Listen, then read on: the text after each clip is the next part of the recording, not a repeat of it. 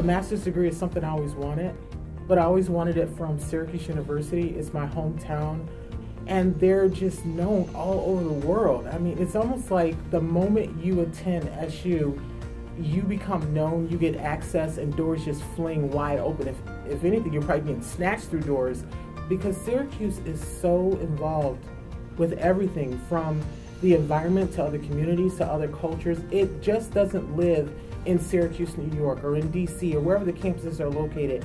Their arms are everywhere.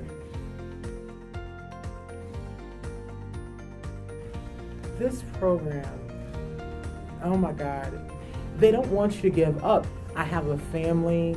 I was working like 50, 55 hours a week.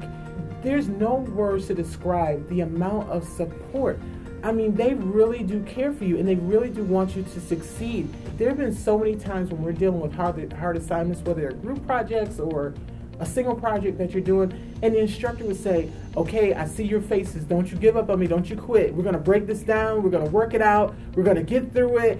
Email me, text me. I'll stay on platform later tonight if you need help, but we are not going to quit.